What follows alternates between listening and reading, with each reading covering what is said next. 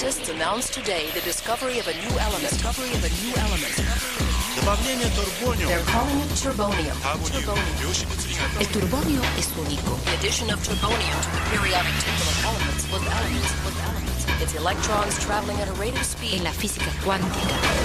But practical applications are still Turbonium. turbo turbo turbo tur- turbonium. турбониум Back to you, Joe.